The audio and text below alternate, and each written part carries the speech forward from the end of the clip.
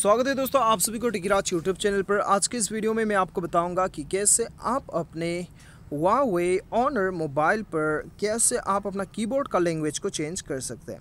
तो दोस्तों, यहाँ पे आप देख सकते हो मेरा लैंग्वेज जो है अभी यहाँ पे है इंग्लिश तो इसे मैं जो है अपने मदर टंग पे यहाँ पे चेंज करके आपको दिखाऊँगा। ठीक है? तो वीडियो को शुरू करने से पहले आपको बता दूँ, चैनल को सब्सक्राइब करके बेल आइकन को ज़रूर दबाइएगा, ठीक है? अभी दोस्तों, यहाँ पे क्या करना है, सबसे पहले तो आपको कीबोर्ड सेटिंग्स पे जाना है, उसके लिए आपको यहाँ पे जो प्लस साइन दिखाई दे रहा है, इसके ऊपर क्लिक कर लीजिए, उसके बाद यहाँ पे आपको सिंबल दिखाई देगा गियर सिंबल यहाँ पे क्लिक कर लीजिए। उसके बाद दोस्तों, यहाँ पे आपको प्लस एंड गियर आपको दिखाई दे रहा है, यहाँ पे क्लिक कीजिएगा। यहाँ पे क्लिक करने के बाद में आपको यहाँ पे लैंग्वेज पे क्लिक करना है, ठीक है?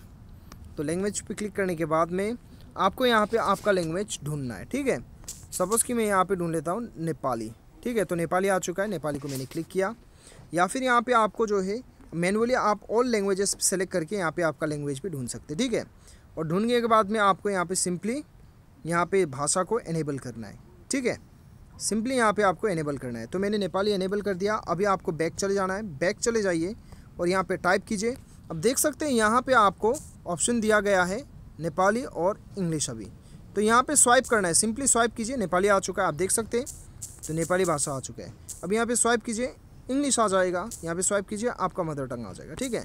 तो दोस्तों, इस प्रकार से आप जो है अपना वावे ऑनर मोबाइल में कीबोर्ड लैंग्वेज को चेंज कर सकते हो। उम्मीद करता हूँ वीडियो पसंद आएगा थैंक्स फॉर वॉचिंग